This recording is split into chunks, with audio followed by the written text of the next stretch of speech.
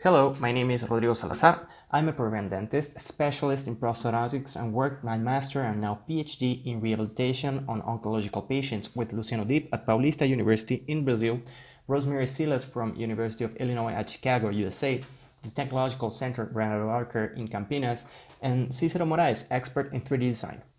We have developed a Plus ID technique workflow to use 3D photography from smartphones, free software, and low cost equipment to have a technological and affordable way of doing facial prosthesis on cancer patients.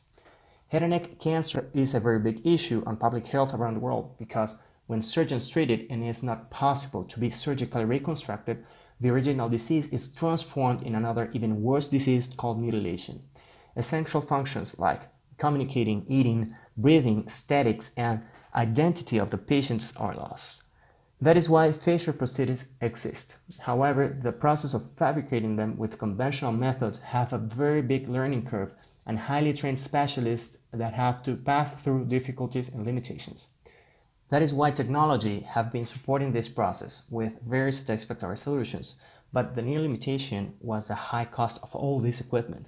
Also, photogrammetry, or better known as 3D photography, have integrated solutions that when you mix all the software's hardware, annual fees, importation taxes, and training, you can pay hundreds of thousands of dollars.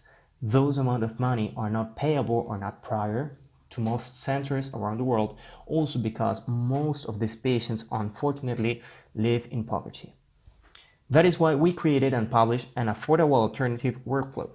We're using free software and low-cost equipment like your smartphone and a desktop 3D printer we demonstrate that facial rehabilitation is possible also with extreme low-cost solutions.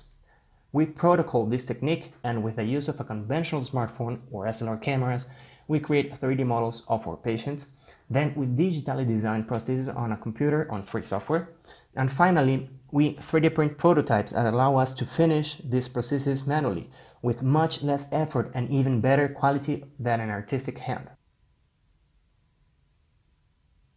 Our work gained the attention of the academics and the media.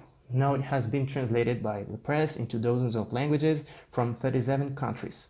Also, due to our scientific partnerships, there are seven countries that are using this method into their clinical protocols of attention, and they help us with the continuous improvement of the workflow. We all look forward to someday 3D print the final color prosthesis, and now we're getting even closer than ever. Thank you very much from all the team for your attention and have a nice day.